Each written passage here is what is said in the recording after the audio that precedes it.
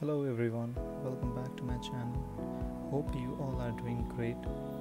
This video is about me and my friends visiting to Iruppu Falls in Brahmagiri range, Karnataka. Hope you will enjoy this video